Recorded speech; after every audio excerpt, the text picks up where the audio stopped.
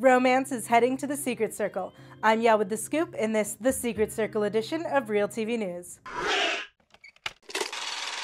Cassie is ready for love. In an interview with TV Guide, Britt Robertson talked about Cassie's love life, saying that now that her grandmother is gone, Cassie needs someone to talk to and lean on.